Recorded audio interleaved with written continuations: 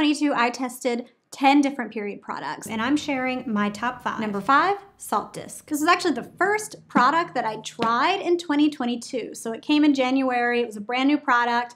I was one of the first to receive it and put it to use almost immediately. Even though it was comfortable and leak free. It was a little harder for me to insert. I'm actually having a really hard time putting this in. The notch kept getting kind of stuck on things. Removal was a challenge. The disc did rotate sometimes. It sort of slopes and there's more stuff there. So it really is kind of hard to grab it if the notch is not in position. Looked back through all of my videos and vlogs and, and footage I took and this was one of my messiest discs to remove. I saw a picture and I was like, that was like a lot.